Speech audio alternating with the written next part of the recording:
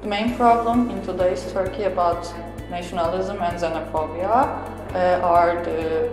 state policies which makes uh, minority populations more silent, uh, invisible and threatened. And the other problem, the main problem, uh, is that the majority population reproduce these homogenization policies of the state by their discourse, by their behaviors, or even by their silence in every field of life.